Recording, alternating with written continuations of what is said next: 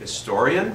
He has taught at the University of Kansas as well as the University of the Philippines, Baker University, and the University of Hong Kong, and the University of Kentucky.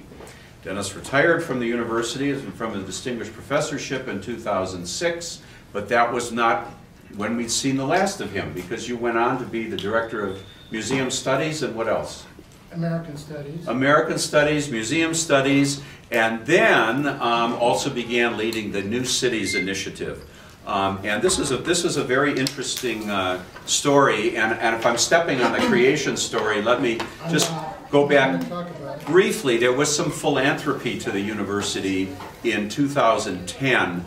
Uh, real estate, local real estate developer wanted to begin to uh, build retirement housing, and he wanted he gave some money to the School of Architecture, and Dennis ended up leading this effort on um, what should the, the next generation of retirement communities or, or senior housing be like.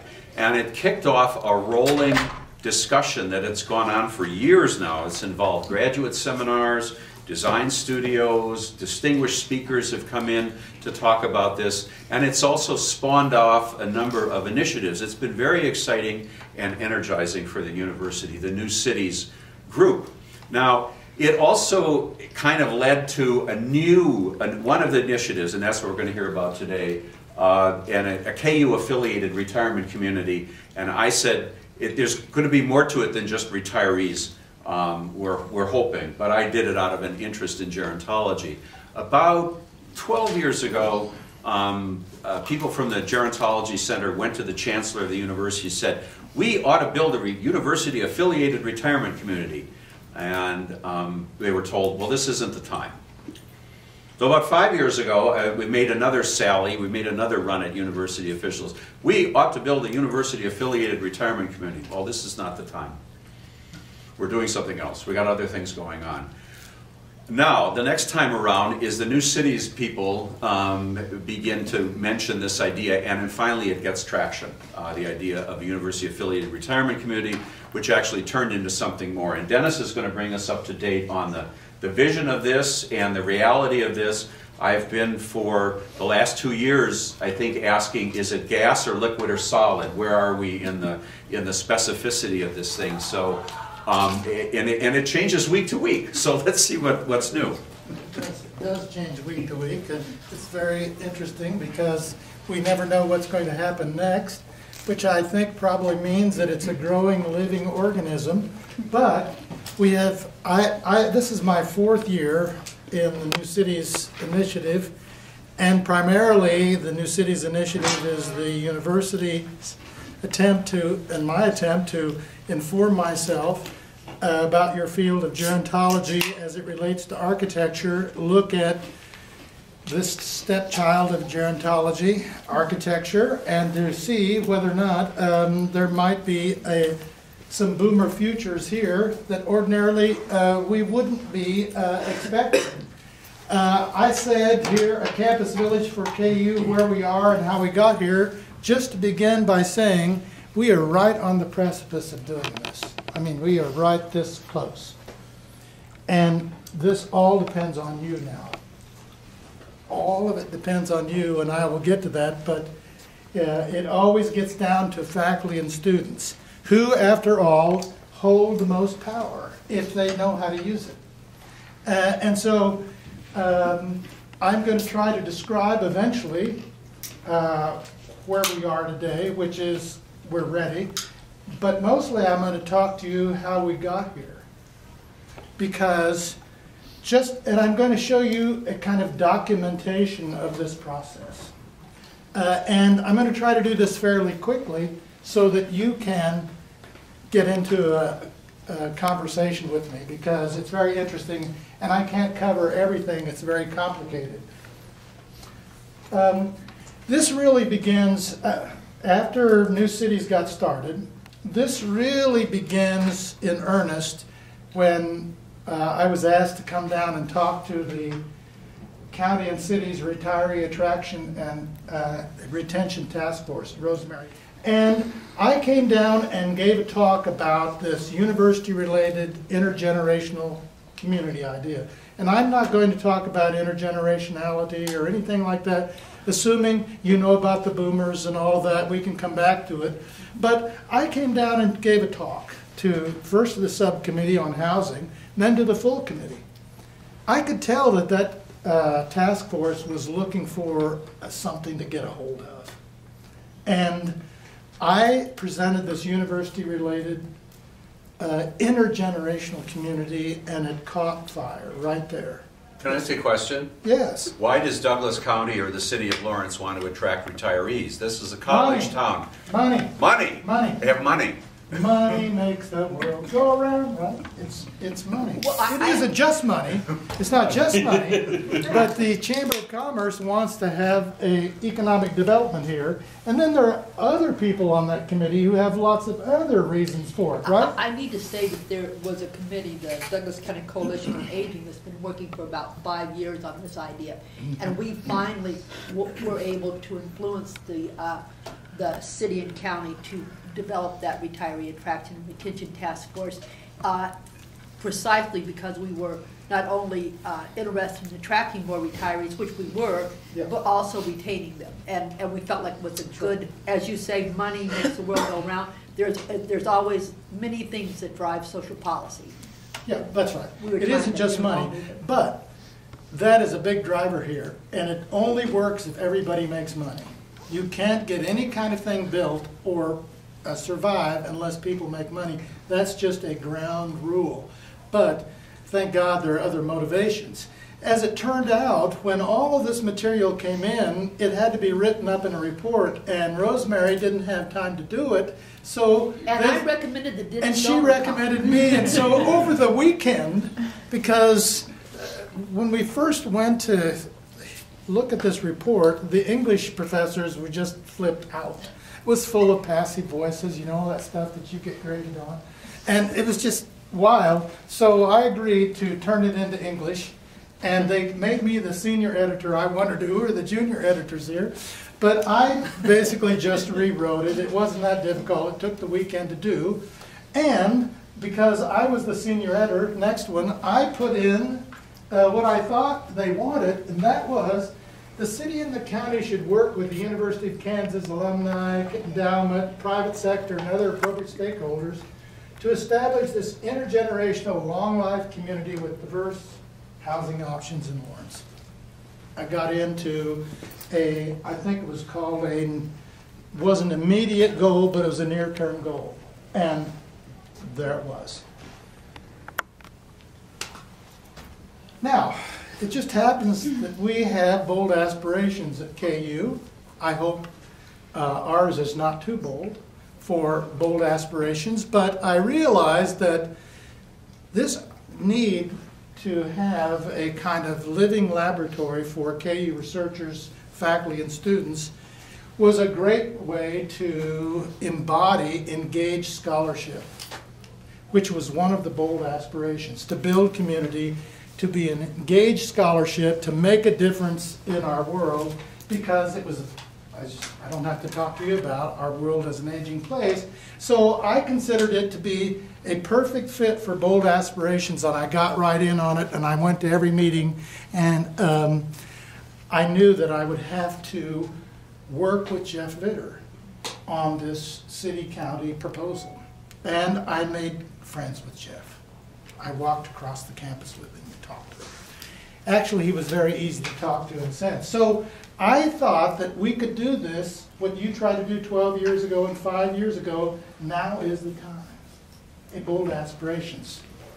And so what did I do? I set up a meeting with Jeff Vitter and Hugh Carter from the chamber. And clarifying for Jeff Vitter is basically The provost and the provost. He runs the campus. He runs the campus. He's the We have a chancellor, chancellor but too. it's over the whole university. But he runs this campus. Yes. So I set up, Yeah. so I set up a meeting with him, and that was in August of 2012, and I spent a lot of time building something that I could hand to him. Basically, they were talking points. Because there's a guy, if you hand it to him right, you can have an effect. But if you don't, right off, it's gone. So, I set it up saying, look, these are the reasons why you should consider this, Jeff. Number one, the KU Alumni Association of over 10,000 people said that Lawrence was a good place to retire, basically. There are some problems, but a good place to retire, especially because education is a key component for boomers. And uh, KU is a university, is a, Lawrence is obviously a university town, and there are over 50 to 60 university-related communities of various sorts across the country. It's a very hot place, so next one, education was a key component. And, let's see, could you go to the next one? There we go. And the intergenerational community idea was something that caught fire because people could relate to that. Uh, and in the university town, it's a prime place to develop intergenerational relationships. Next. And um, people who come to a place like Lawrence to retire, who are KU alumni, tend to give money to the endowment. So I'm looking for ways to get him to see that this has a lot of dimensions. And back to money, like um, uh, Oak Hammock in Florida, over at the end of six or seven years, those people had already given uh, $18 million to the endowment. And I could show that. You know, Vitter is very evidence-based, and that's how I like to work. And I just decided I will lay down evidence for him. Um, and part of the way in which I laid down evidence is that I studied about 10 or 12 university-related communities, particularly MU. Because MU was very successful in a uh, partnership with a for-profit developer, and at this point, they had attracted about $50 million worth of research grants from NIH and particularly the National Science Foundation. They said because of this living laboratory basically that they have there, which I'm not going to go into. But people tend to give money. But I really focused in on research because that's what Vitter is interested in. How can we move this university forward on research? And I said that this intergenerational community would provide the kind of laboratory that gerontologists from various fields had been missing. We'd had it in the Lifespan Institute for early, but not for late in the lifespan, and why not? Next. And I went back to Tiger Place and I laid down all the evidence for it, just like that. Uh, and I said this association will encourage university faculty to stay here and retire. Next. And I said that this intergenerational community through KU's Living Laboratory would develop research that serves Kansas, the nation, and the world, and otherwise engage scholarship. It was really clear. Next. And uh, I said that we could bring lots of departments together, including the Med Center, which had been in a state of enmity with uh, Lawrence for years. If we could bring them together around this intergenerational problem and this interdisciplinary problem. We couldn't just work on it from one perspective, but we could actually bring these molecules together in a different way and galvanize our resources and sort of have a new future for uh, research. Next. So uh, I investigated all these schools and laid that out. That was in August. Next, in September, I got this nice little letter from Jeff Vitter. And this is a very positive letter. I'm not sure you can see it, but he said he enjoyed the meeting. By the way, at the end of the meeting, he said, This is a win win for everyone. I said, Okay, we got him. And he sends us a little letter to us and he says, uh, What do you want from us? How much is it going to cost us? Uh, you know, all these things that would suggest that he was really interested. He was convinced. Uh, and so that's just what I needed to then go on. And what I needed to do immediately then was to get the institutions together that were going to be involved. Who was going to be involved? The city, the county, the hospital, the school district, and the university. How can you get those uh, institutions together and come together. Particularly when the chancellor, by the way, before I got to this, we had a meeting with the chancellor, with the provost, with the president of the Endowment Association, and with the president of the Alumni Association. We Sat up there for an hour talking to her, and she liked it.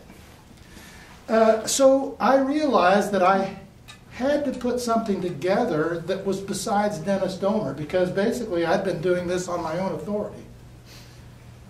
Why not? That's the best authority there is, Dennis. Why, why not?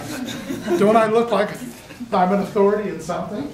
Maybe not, maybe eating. Uh, uh, so, and the key was that it had to be outside of Dennis Domer because the university could not relate directly to for profit groups. So we had to figure out a way for the university to do this without a direct relationship. And by talking to uh, our experts in uh, uh, governance of retirement communities, we learned that what normally you have is a governance system and a governance board. And the governance board has appointment authority, has approval authority, is in strategic decision-making processes, uh, uses this influence, talks to the right people, but doesn't have any money because nobody can sue you. And the key was that nobody could sue KU if it affiliated with us. And if the not-for-profit board of directors, which we would appoint, affiliated with us, and if the hospital, county, city, etc., all affiliated with this governance board, then we would be the in-between mechanism to uh, negotiate all this stuff for the university. That's what the university wanted. So I set up a governance board. I went around, oops, go back. What did we lose here? Back. Hmm. I lost it. Go forward, I don't know, go backwards, go the other way. Well, anyway, I thought I had the governance board there. I had 15 people. I don't know what's happened here. Uh, because I wasn't ready for the vision. Anyway, I, I, maybe it'll come up somewhere. It's very strange down here in computing. I went around to different people in the city who I considered to be pivotal leaders. And I convinced every one of them to join this board because of this vision. And who was it? David Ambler. Uh, he was a retired vice uh, chancellor for student affairs. I had the president of the Lawrence Memorial Hospital. I had the superintendent of schools. I had the dean of architecture, the dean of nursing. I had a distinguished professor of psychology, one of your midst. Uh, I had several other people from the university. I had a president of Intrust Bank. I had a realtor. I had uh, a county commissioner, Jim Flory, and a city commissioner, Terry Riordan, who's also a pediatrician. Uh, and so 15 people that you could bet that if the university looked at, they would have to take them seriously. In order to get them, I had to develop a vision. Now, uh, the visionary. The visionary goes around and says, well, what do you think? And what do you think? And what do you think? And what do you think? And you put it together and suddenly they say, Dennis Domer is the visionary. I'm not the visionary. I'm the synthesizer, really. And what I did was to convince them that an intergenerational community was the next innovation, that Lawrence could be the place for it, that KU was on board, because nobody would do this unless KU is on board. KU was the key article here. And so, go ahead, next. I, why are we creating the village? Why, uh, who's the community for? Community basically is for middle class people with some attention to uh, low-income people through tenants to homeowners and others because the city and the county needed that to work politically. And by the way, this is all really political, all of this. And so, um, next, getting down to, this is about an eight-page document, I got down to the educational components, the kinds of things that you are looking for and how that living laboratory, KU, would maybe function there. And that all made sense to everyone, so on we go. Next. here it is. Here's our board. I guess I put it behind instead of front. Here's the board. So it's a really top board in the city, and people will take it seriously. And we've met six or seven times. We're meeting tomorrow again. So we can see that uh, if I get these kinds of people here, then the university is going to say, this is a legitimate group of people to work with. And uh, they're powerful in the city, and uh, they mean business. Next. And we did mean business. So, in order for me to get the university to take one step further, what did Jeff Vitter want? He said, well, tell me who would participate in the living laboratory and what do they want? Uh, and so uh, Susan Kemper and I spent a while going around to you folks uh, through the university, at least to a certain extent, and we collected all of these people. And I'm not saying that we actually have everyone. Probably there are people who aren't there who should be there. Any case, we collected all this material. Next. And then I began to lay out the design and uh, programming components for them. In other words, if you, Amber, need something, what is it you need and how does the architect understand that? What is the space? Uh, what are its characteristics? Um, what are the fixtures that you need? What's the size? And what's your future? You know, are you going to get three times as big or are you going to just stay where you are? And that is kind of an architectural program. Uh, we talked a lot about different considerations. Next, please. But here's an example of the cognition suite. This is the kind of detail that the architect needs uh, in order to begin. And uh, that is sort of a beginning description. Uh, we're not done with this yet. But that was enough to get the provost and the chancellor uh, in the position of saying, well, maybe they do want to do this. Because the question is always, they say they want to do it, but will they? Right? That's always the question because KU, like all educational institutions of KU sort, is a very fickle institution. What do I mean by that? Well, the provost could be gone in the next three months. You know, the chancellor might leave. The deans might be changed. Uh, the faculty might leave. This, everything can change, so it's very hard to nail the university down. And that was one of my biggest worries. Would the university deliver? And that was one of the worries that Jeff Vitter had. Next. Well, after all of that, the university about six months ago said, you know, I think we really want to do this. And so I'm going to go to the lawyers. Jeff Vitter says, I'll go to our lawyers and we're going to develop a so-called memorandum of intent to affiliate with this campus village board. And this memorandum of intent basically said, um, we will deliver all these faculty and students and uh, research projects out there if you, the developer, or you, the campus village board, will work with the developer to give us all this space free. free. Sounds like a pretty good deal, right? I mean, isn't this just the way the university is? You know, the return on investment normally takes an investment, but the university doesn't want to invest, it just wants the return. And that's what it got. It basically got the return. Because the developer can see, and Moody suggests that if you get this affiliation with the university, your chances of succeeding in any building project go up to 60, 70, 80%. It's all about credibility, association, rock, chalk, all that kind of stuff. oh, you know, it really, it gets down to that gut, gut emotional thing. So, uh, that was the MOI. This was the first one about six months ago, which the chancellor signed.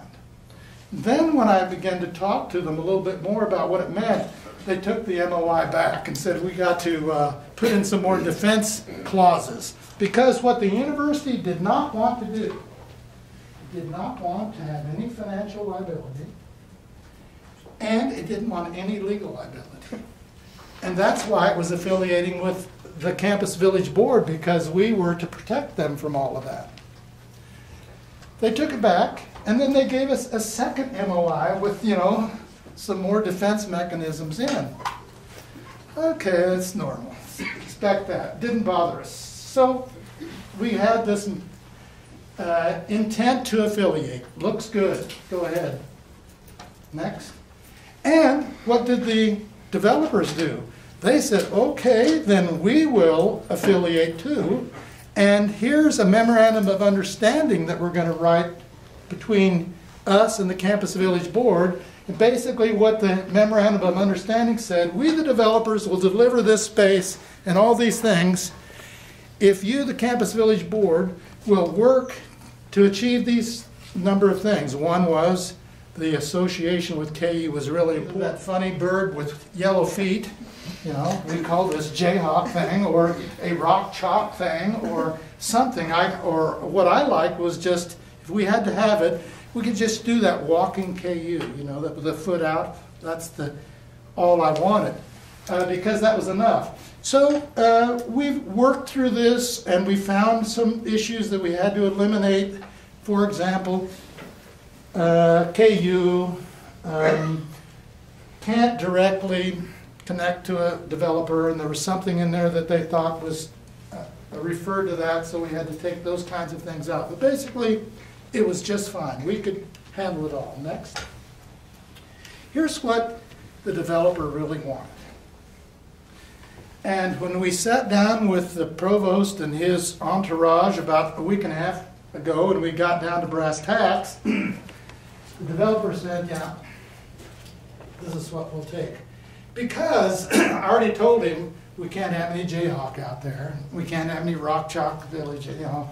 Let's not be cheesy now. And besides, we don't want just people who are Rock Chalk totally red and blue. We don't want just those kinds of people. We might want people who graduated from K-State or from Baker or from Haskell or whatever. now, sounds like everything's going pretty well, right? Moving really fast. In fact, pretty fast because we got a developer, Lane Ford Property Group out of Kansas City. We have a 60 acre site. We are down to selecting an architect and a master planner. And um, we're sitting down with the university with the provost saying, okay, what do you guys want? I'm sitting here with the developer. I'm now considered, by the way, to be impure. I can't speak for the university because I'm a booster. You know, I'm impure now. I've worked here for 35 years. I think, well, who's pure in this uh, place? But I can't speak for the university, so I can sit with the developer and be across the table from the provost and negotiate with him.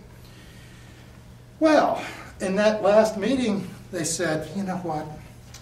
We made a mistake, a procedural mistake.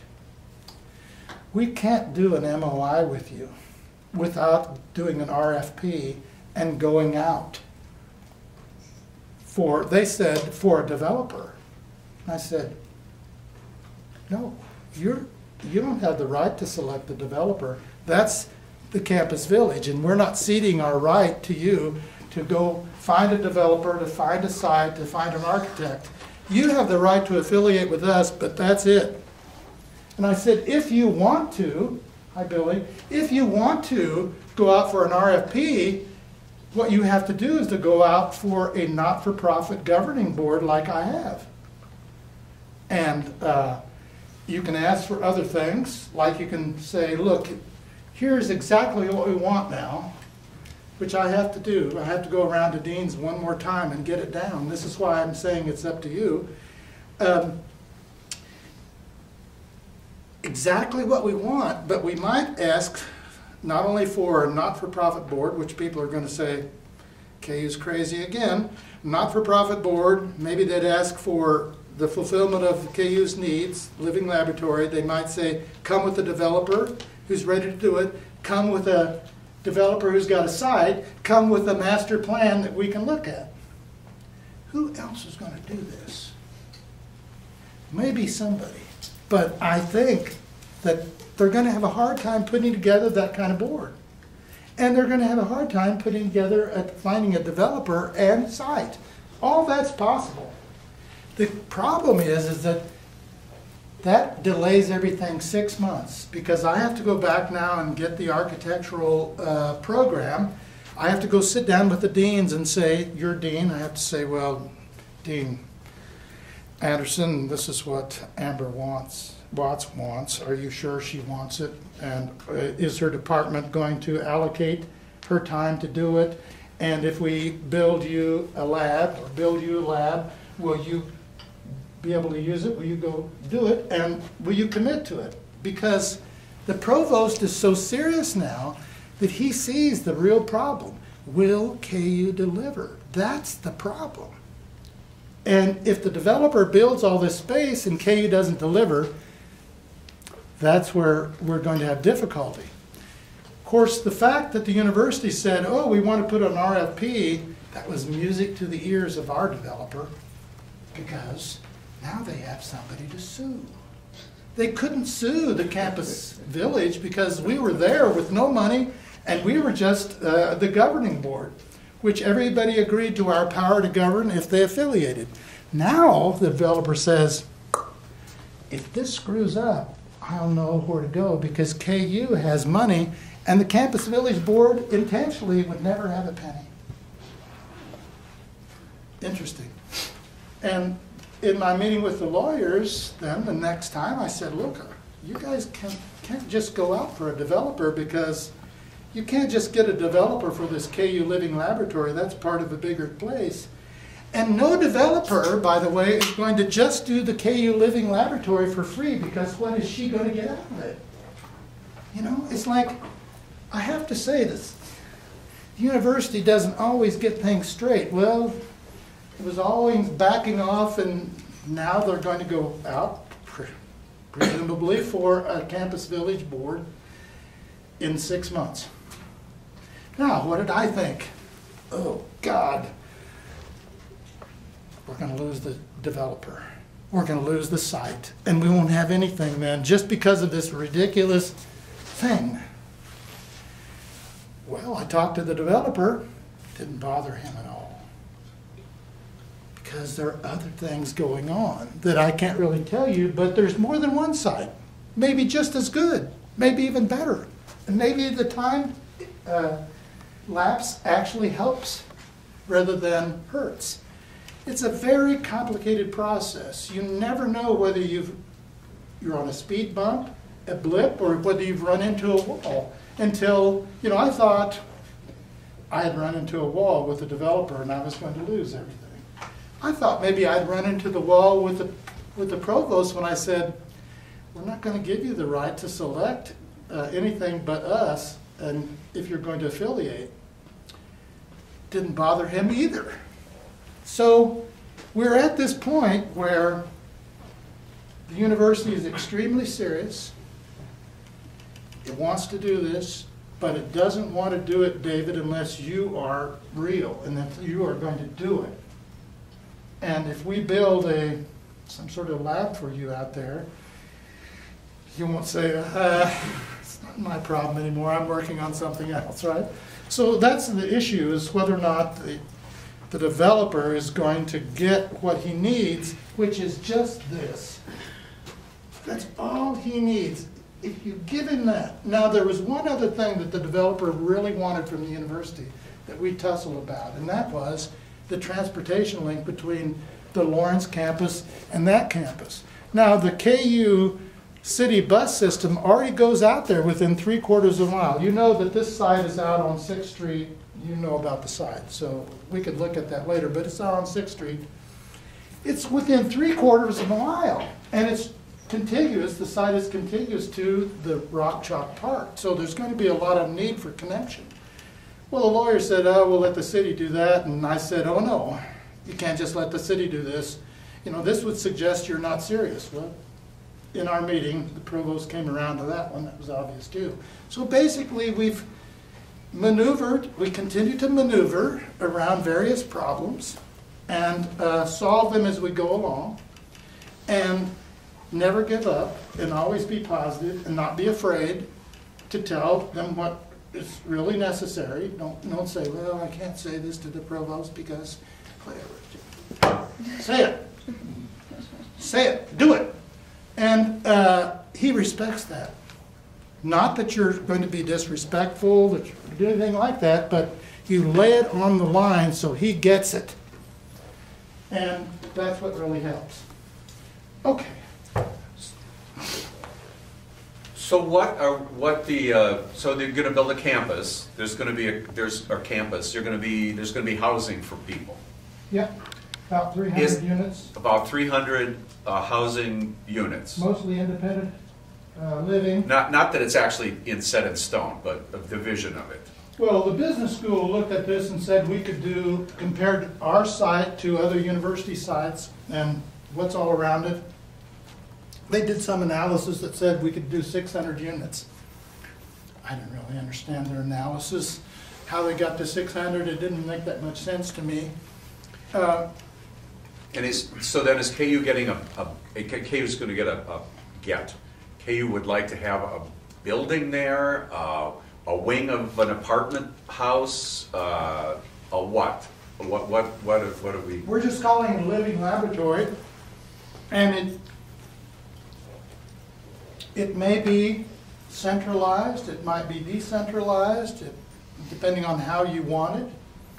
The same thing goes for the kinds of services that we have suggested we might want in a community like this.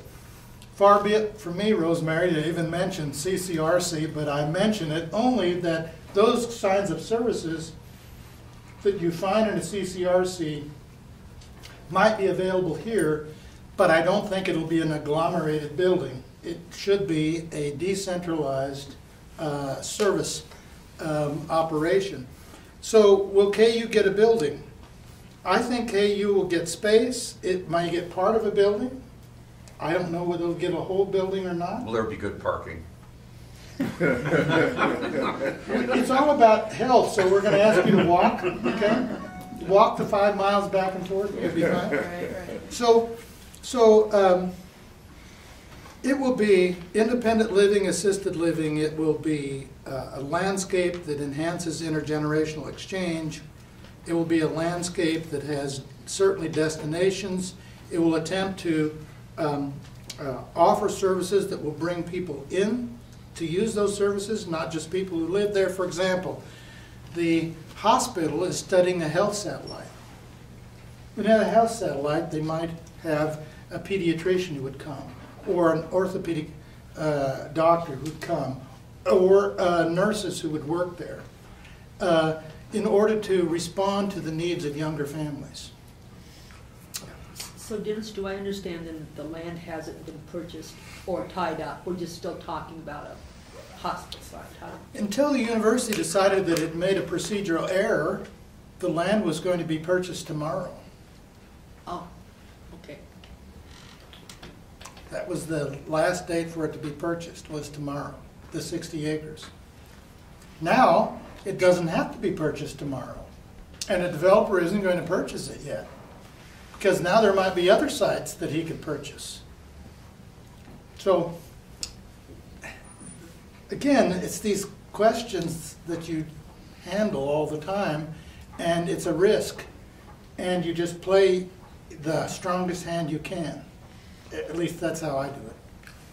Richard? I don't quite understand the, the university's point of view. If you build a facility, whether it's uh, a part of a building or if it's laboratories or space in which various people can carry out research, uh, I, I don't see the problem because the university has the power, if somebody who's already here says, oh, I don't want to do research out there, the university can go hire somebody who will do research out there easily enough. The, the provost has that power. He You know, can. and, uh, I- I can, so- but I don't think he has those resources. This is no time for him to be spending resources that he doesn't have, and he, believe me, he doesn't have the resources he had in 2005, and he's worried about resources. When you sit across from him, he says to you, you know, the one thing I can't do is build space. I don't have money to build space. I have to raise money for that, and I know you need it. And if somebody will give us the space, then I can pay for the uh, utilities, and if your lab needs certain kinds of laboratory equipment, if we decide that's what we want to do, we can furnish that laboratory space, as long as it has the right infrastructure, for what you need. And I can sort of develop a new approach to research around gerontology, and I can compete with MU, for example. We have other things in which we're not going to compete with MU, we're going to work with MU. So you, yes, he does have that power, but he doesn't have the money to do it, to get, put new faculty there unless he has to reallocate away from pharmacy, which he's not going to do. And he doesn't have the money to build your space or your space, the decision-making center, he says. But if they build it for me, I can move faculty out there. That's what he said. Now he sees, good idea, but can I move faculty out there? I got to go talk to your dean. And your dean has to say to your chair and with your faculty who supposedly are interested, okay, is that where you're going to do your teaching? Is that where you're going to do your research? Uh, how much time you're you going to spend out there? You know, because I have to commit to the provost that you're going to do it. What's, what's the advantage of having the uh, research, is it out there? Like, What would happen if KU said, we're not gonna have the research out there, but you can use our logo? I mean, is that, is the research itself the draw for the retirees? Nope. No, okay, so that's, I mean, No. KU can, No. can do it or not. I don't- That's right. That's what the, that's what the developer says. He says, look, as long as you give me that, I don't care if you come at all. Right. But why would you get that if you weren't gonna be there? Right. So the other thing is, is that why is it that MU has created so much research? From their perspective, it's because they have a real living laboratory and they have lots of participants. I used to call them subjects, but I've been told that that's not right anymore. Participants, they have lots of participants. And we need participants. That's one of the hardest things that we have to face with our faculty is they can't get enough in, you know, the statistic, to, to be able to do a statistical analysis that they can uh, actually make a contribution. Unless you want to study college sophomores, in which case we have lots. We got lots of college sophomores. And we don't, we don't really have this intergenerational equation going anywhere else in the country, so we're very interested in that generativity between generations that uh, some research suggests that uh, might be really important. Yes. Dennis, I understand that you have many pressing issues, and I, and I say this over and over, I'm gonna say it one more time. Our dream, when the uh, aging providers in town were talking about this for years and years, was not more assisted living, more independent living, but rather architectural space where you could bring services in and a person could live until death. And that kind of mm. architectural space done with universal housing design then Yeah. is good space for everybody. It's good space for Yep. younger people, older people. So every time I hear you say assisted living and independent living, But that No, doesn't smoke comes out obviate that. That doesn't obviate that. Hmm. Assisted living, if you have an aging in place uh, can be services that architecture, come can in, be but not serviced, a yes. building that's called assisted living. Well, that's what I said. It's, I didn't say a building, I said decentralized, but somebody, it'll have to be some kind of building. They can't just live in a tent, you know No, that. But it's. But it's not gonna be in a- an agglomerated Uni- place. Universal housing design that services. That's right. It's, we don't want it to be an agglomerated, typical CCRC that we see. The first generation that we have here, Presbyterian Manor, and those first generation CCRCs, that's not what we're looking at.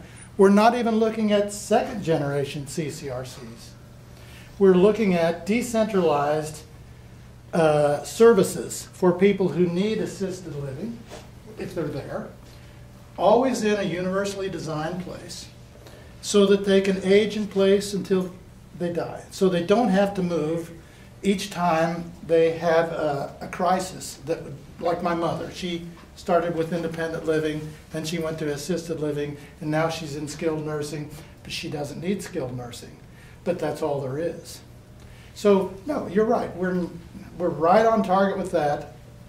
We don't foresee it being a single building like memory care. We expect memory care to be in regular houses scattered throughout this community. I would think that certainly independent living could be in all over, and so could assisted living. Uh, and now skilled nursing is a big issue. Uh, do we really want skilled nursing? It's very regulated, it's very expensive, states don't, are not willing to pay for it anymore, it's sort of against their policy. And we have skilled nursing throughout our community that may be all that's necessary for our community. Maybe we shouldn't offer that service. Although Brandon Woods is cutting their skilled nursing by about a third. So that's an issue. Another issue, just to come up with that, and I'm glad to see you here, Debbie, is that I've been meeting with a lot of the skilled, uh, the senior facilities uh, administrators in Lawrence. I met with them twice and I visited every one of them. Initially, there was pushback. Why wouldn't there be pushback? This might be competition. They were worried that somehow we might steal all of their residences, residents. Really, competition is there, but I don't think that was the real issue. The real issue was that they wanted to be part of this. And I hadn't paid enough attention to them. It's not that I didn't have anything else to do, but I hadn't paid attention to them enough. And once I started meeting with them and talking to them, all of this, wouldn't you say, Debbie, it, it more or less just sort of, I would say eighty-five percent has Yeah. participated. I I have to bite my tongue a lot in meetings. um, yeah. But uh, we just want to make sure that full knowledge Mhm. is gained before there's advancement. Yeah. So there's a political front out there in Lawrence. There's a political front in KU because there are ideologies in KU. There's administrative issues. Um, there are po- politics with the owner of the land, politics with the city and the county, politics with everybody. And so I'm just working through the political aspects of it, and as I learn more and more, I move it in that direction. And now the developer is talking about decentralized services. Either that funny bird with yellow feet, you know, we call this jayhawk thing, or a rock chalk thing, or something. I, or what I like was just, if we had to have it, we could just do that walking KU, you know, the, the foot out. That's the, all I wanted, uh, because that was enough. So uh, we've worked through this and we found some issues that we had to eliminate. For example, uh, KU um, can't directly connect to a developer, and there was something in there that they thought was uh, referred to that, so we had to take those kinds of things out. But basically, it was just fine. We could handle it all. Next. Here's what the developer really wanted. And when we sat down with the provost and his entourage about a week and a half ago, and we got down to brass tacks, the developer said, yeah, this is what we'll take. Because I already told him, we can't have any Jayhawk out there. We can't have any Rock Chalk Village, you know. Let's not be cheesy now. And besides, we don't want just people who are Rock Chalk totally red and blue. We don't want just those kinds of people. We might want people who graduated from K-State or from Baker or from Haskell or whatever. now, sounds like everything's going pretty well, right? Moving really fast. In fact, pretty fast because we got a developer, Lane Ford Property Group out of Kansas City. We have a 60 acre site. We are down to selecting an architect and a master planner. And um, we're sitting down with the university with the provost saying, okay, what do you guys want? I'm sitting here with the developer. I'm now considered, by the way, to be impure. I can't speak for the university because I'm a booster. You know, I'm impure now. I've worked here for 35 years. I think, well, who is pure in this uh, place? But I can't speak for the university, so I can sit with the developer and be across the table from the provost and negotiate with him. Well, in that last meeting, they said, you know what? We made a mistake, a procedural mistake. We can't do an MOI with you without doing an RFP and going out for, they said, for a developer. And I said, No, you're, you don't have the right to select the developer. That's the campus village, and we're not ceding our right to you to go find a developer, to find a site, to find an architect. You have the right to affiliate with us, but that's it. And I said, if you want to, hi Billy, if you want to go out for an RFP, what you have to do is to go out for a not-for-profit governing board like I have. And uh, you can ask for other things, like you can say, look, here's exactly what we want now, which I have to do. I have to go around to Dean's one more time and get it down. This is why I'm saying it's up to you. Um, exactly what we want, but we might ask not only for a not-for-profit board, which people are going to say, KU's crazy again, not-for-profit board, maybe they'd ask for the fulfillment of KU's needs, living laboratory, they might say, come with a developer who's ready to do it, come with a developer who's got a site, come with a master plan that we can look at. Who else is going to do this? Maybe somebody. But I think that they're going to have a hard time putting together that kind of board. And they're going to have a hard time putting together, a, finding a developer and site. All that's possible. The problem is, is that that delays everything six months because I have to go back now and get the architectural uh, program. I have to go sit down with the deans and say, "You're dean." I have to say, "Well, Dean Anderson, this is what Amber wants. Watts wants. Are you sure she wants it? And uh, is her department going to allocate her time to do it? And if we build you a lab or build you a lab, will you be able to use it? Will you go do it? And will you commit to it? Because the provost is so serious now that he sees the real problem. Will KU deliver? That's the problem. And if the developer builds all this space and KU doesn't deliver, that's where we're going to have difficulty. Of course, the fact that the university said, oh, we want to put an RFP, that was music to the ears of our developer because now they have somebody to sue. They couldn't sue the campus village because we were there with no money and we were just uh, the governing board, which everybody agreed to our power to govern if they affiliated. Now the developer says, if this screws up, I don't know where to go because KU has money and the campus village board intentionally would never have a penny. Interesting. And in my meeting with the lawyers, then the next time I said, look, you guys can, can't just go out for a developer because you can't just get a developer for this KU Living Laboratory. That's part of a bigger place. And no developer, by the way, is going to just do the KU Living Laboratory for free because what is she going to get out of it? You know, it's like, I have to say this. The university doesn't always get things straight. Well, it was always backing off, and now they're going to go out, presumably for a campus village board in six months. Now, what did I think? Oh, God we're going to lose the developer. We're going to lose the site. And we won't have anything then just because of this ridiculous thing. Well, I talked to the developer. Didn't bother him at all. Because there are other things going on that I can't really tell you, but there's more than one site. Maybe just as good, maybe even better. And maybe the time uh, lapse actually helps rather than hurts.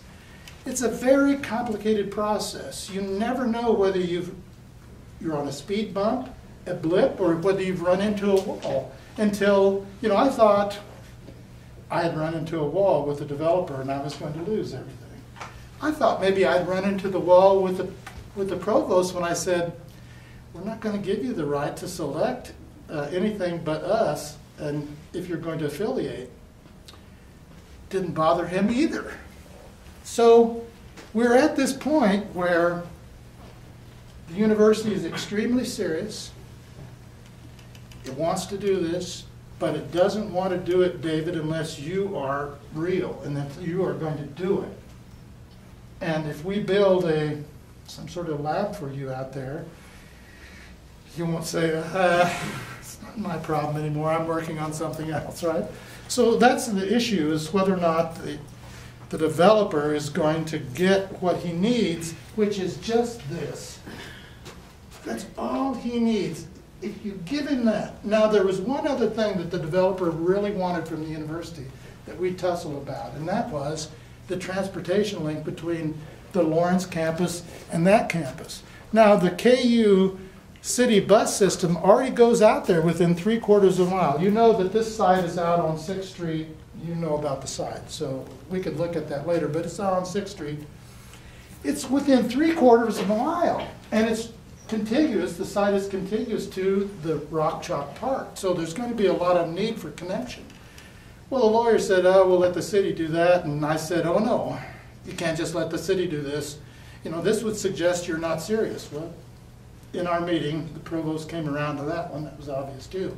So basically, we've maneuvered, we continue to maneuver around various problems and uh, solve them as we go along.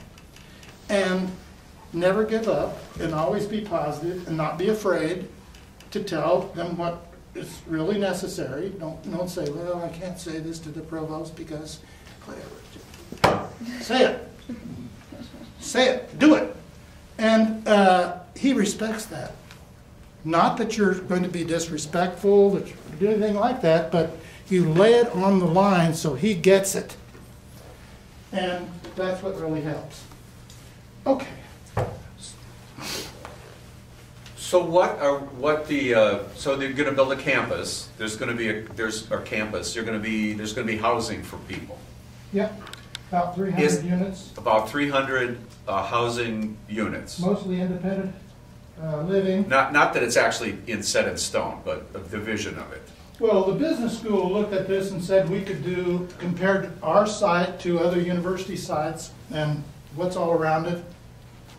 They did some analysis that said we could do six hundred units. I didn't really understand their analysis, how they got to six hundred, it didn't make that much sense to me.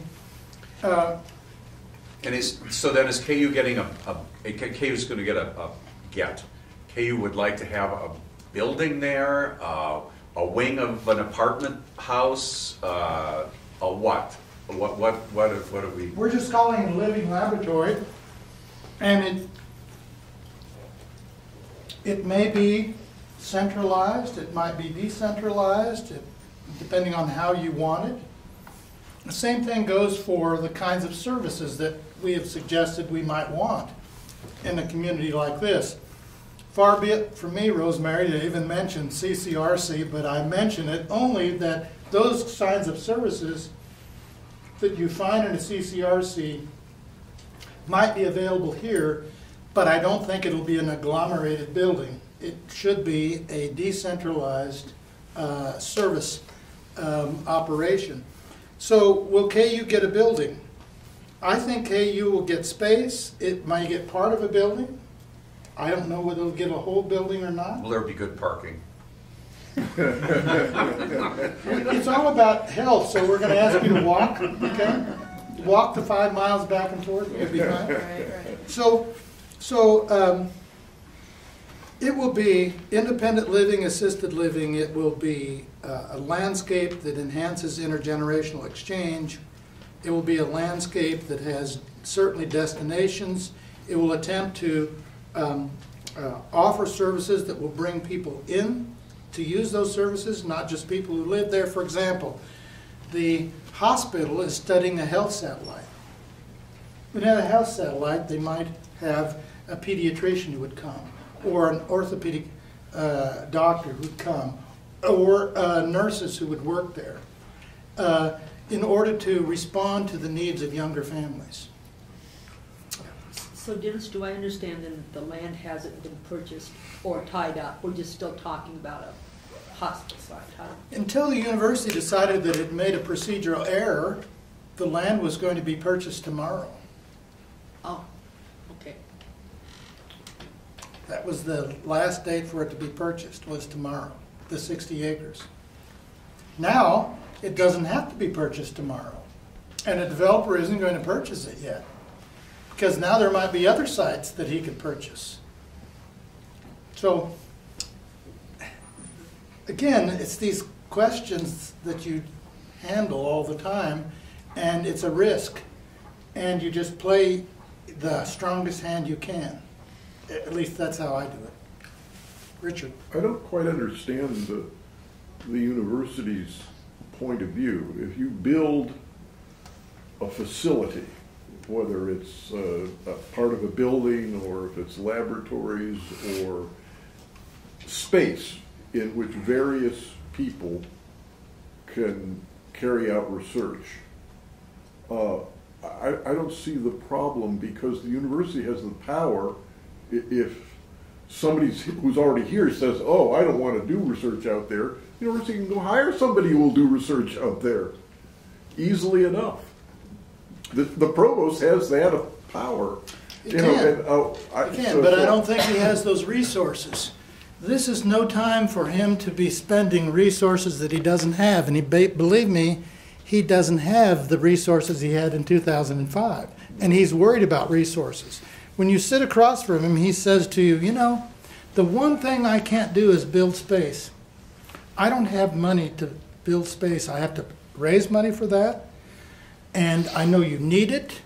And if somebody will give us the space, then I can pay for the uh, utilities. And if your lab needs certain kinds of laboratory equipment, if we decide that's what we want to do, we can furnish that laboratory space as long as it has the right infrastructure for what you need.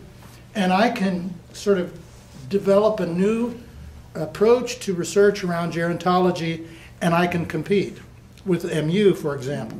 We have other things in which we're not going to compete with MU, we're going to work with MU. So, you, yes, he does have that power, but he doesn't have the money to do it, to get, put new faculty there, unless he has to reallocate away from pharmacy, which he's not going to do. And he doesn't have the money to build your space or your space, the decision making center, he says. But if they build it for me, I can move faculty out there. That's what he said. Now he sees, good idea, but can I move faculty out there? I got to go talk to your dean. And your dean has to say to your chair and with your faculty who supposedly are interested, okay, is that where you're going to do your teaching? Is that where you're going to do your research? Uh, how much time are you going to spend out there? You know, because I have to commit to the provost that you're going to do it. The advantage of having the uh, research, is it out there? Like, what would happen if KU said, we're not gonna have the research out there, but you can use our logo? I mean, is that, is the research itself the draw for the retirees? Nope. No, okay, so that's, I mean, No. KU can, No. can do it or not. I don't That's right. That's what the that's what the developer says. He says, "Look, as long as you give me that, I don't care if you come at all." But why would you get that if you weren't going to be there? Right. So, the other thing is, is that why is it that MU has created so much research? From their perspective, it's because they have a real living laboratory and they have lots of participants. I used to call them subjects, but I've been told that that's not right anymore. participants. They have lots of participants. And we need participants. That's one of the hardest things that we have to face with our faculty is they can't get enough in, you know, the mm-hmm. statistic, to, to be able to do a statistical analysis that they can uh, actually make a contribution. Unless you want to study college sophomores, in which case we have lots. We got lots of college sophomores. And we don't, we don't really have this intergenerational equation going anywhere else in the country, so we're very interested in that generativity between generations that uh, some research suggests that uh, might be really important. Yes. Dennis, I understand that you have many pressing issues. And I, and I say this over and over, I'm gonna say it one more time. Our dream, when the uh, aging providers in town were talking about this for years and years, was not more assisted living, more independent living, but rather architectural space where you could bring services in and a person could live until death. And that kind of Mhm. architectural space done with universal housing design then Yeah. is good space for everybody. It's good space for younger people, older people. So every time I hear you say assisted living and independent living. But that doesn't smoke comes out obviate of my that. ears. that doesn't obviate that. Assisted living, if you have an aging in place uh, Can be services architecture, that come can in, be but not service, a yes. building that's called assisted living. Well, that's what I said. It's, I didn't say a building, I said decentralized. But somebody, it'll have to be some kind of building. They can't just live in a tent. You know No, that. But it's. But it's not gonna be in a- an agglomerated place. Universal housing design that services. That's right. It's, we don't want it to be an agglomerated, typical CCRC that we see.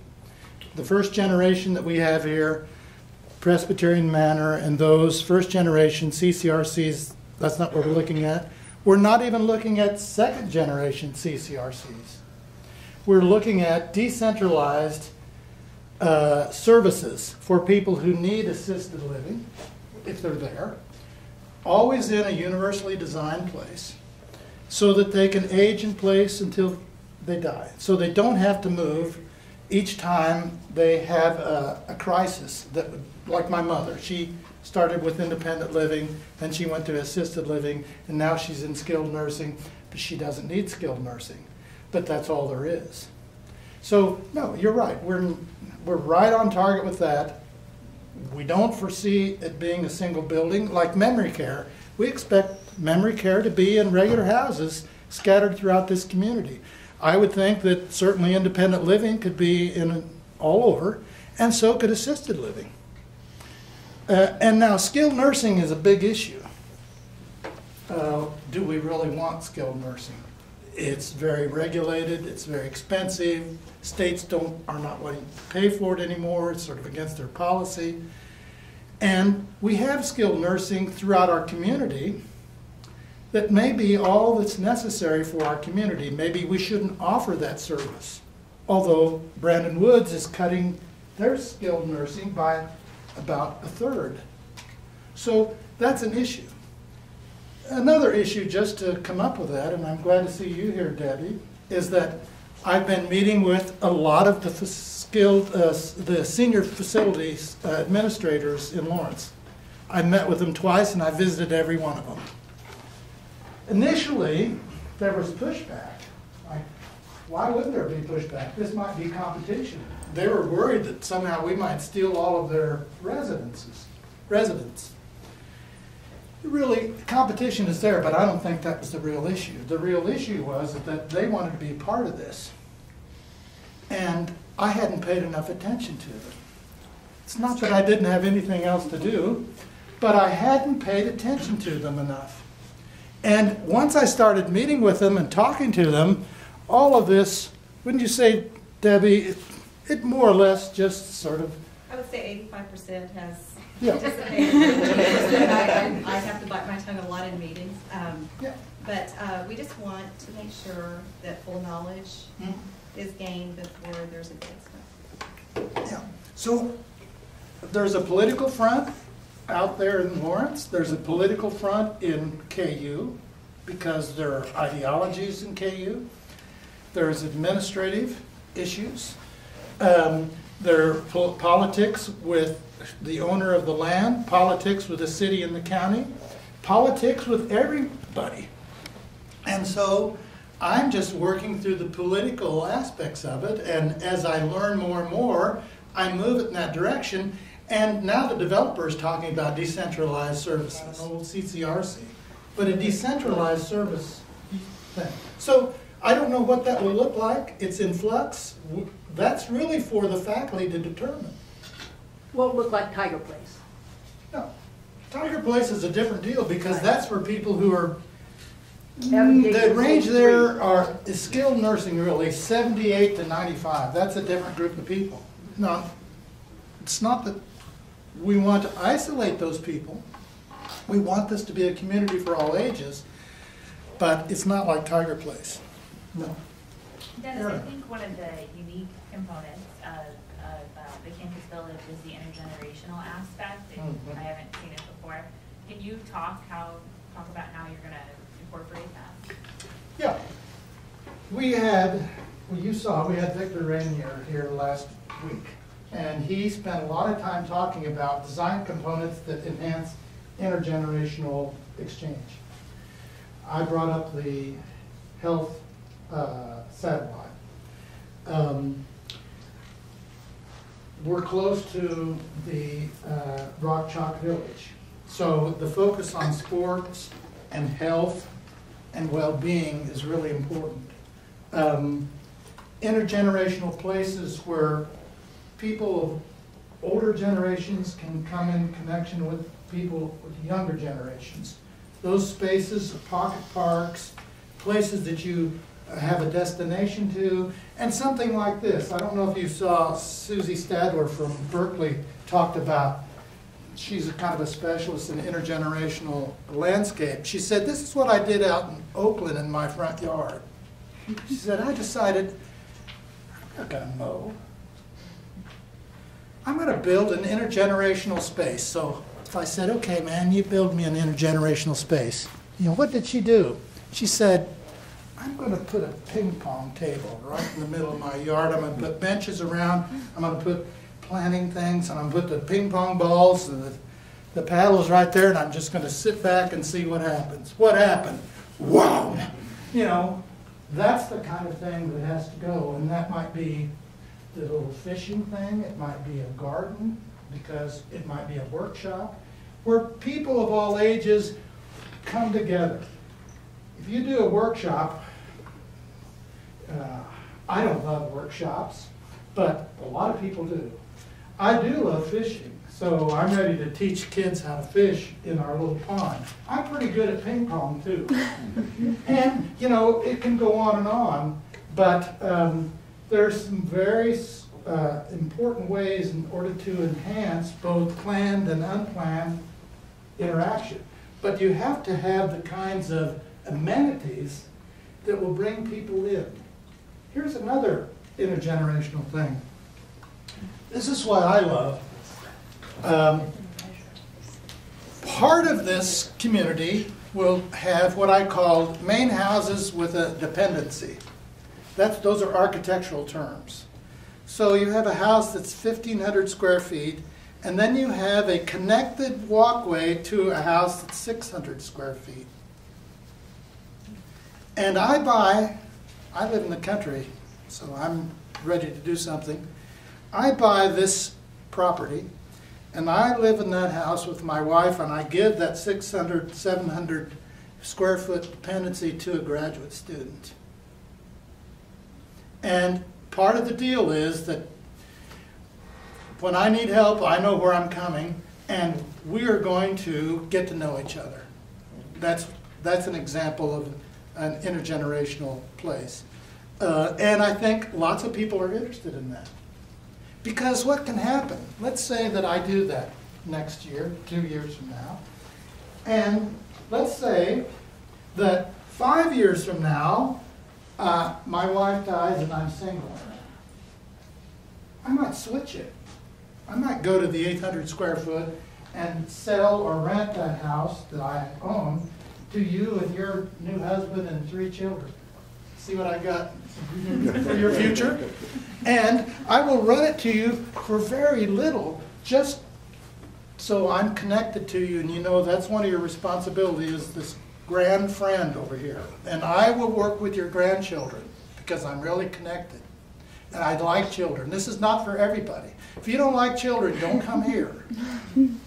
So, you know, I had six grandchildren and I don't have all of them here.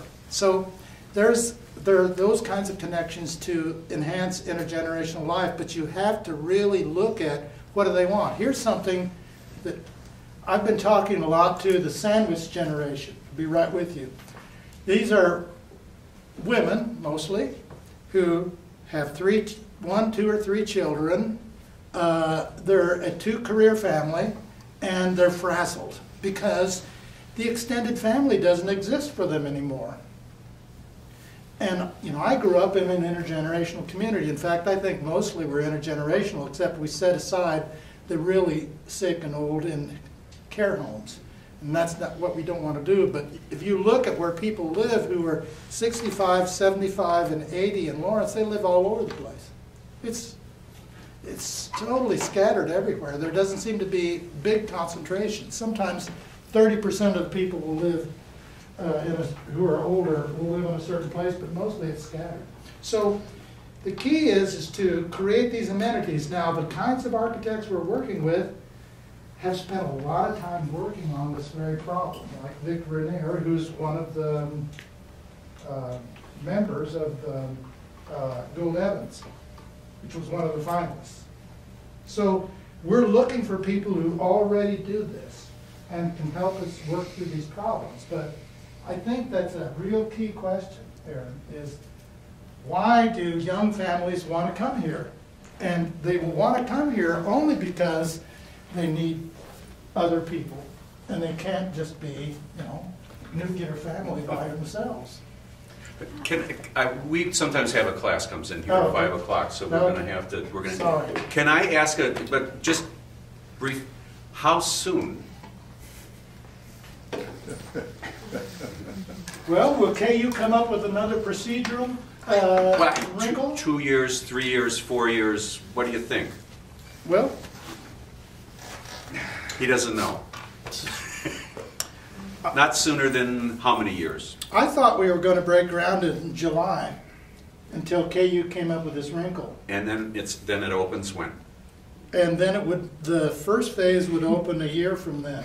Okay. And then it would take two more years for the next phase to be developed because that would be more complicated, take longer, dealing with, you know, what is the actual dimension of things and what's the relationship between developer, the hospital, developer, the university, um, you know. Okay, within our lifetime, it'll, I, I- the goal, the goal was within five years Okay. uh, of 2012.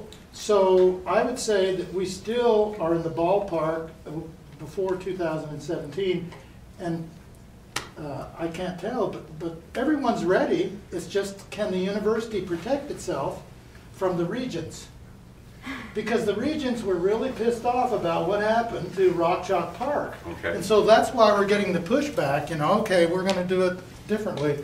Why they didn't do that earlier, I don't know, it just didn't dawn on them, right? Well, this has been really exciting. This has been very interesting as someone who spent his entire career in academic gerontology to suddenly, at this stage, be talking about real estates and understanding the difference between an MOI and an M, uh, and an And, uh, MYU, and and, an uh, M-I-C-K-E-Y. Yes. Well, thank you, Dennis.